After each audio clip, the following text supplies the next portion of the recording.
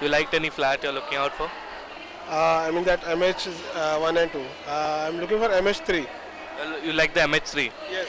So uh, any particular location you're looking out for? I'm looking for Goregaon, Jogeshwari and Andheri East, all East. So is it fitting in a budget? What's your budget like? Uh, around 70 including uh, all cost charges. So you like the new concept we have come up with? Yeah, definitely. It's a very uh, good concept. Actually, I've been looking for this area.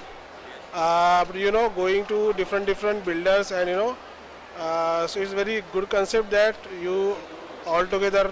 So happy that you came here and you got the thing you're looking out for. Yes, definitely. Thank you sir for time.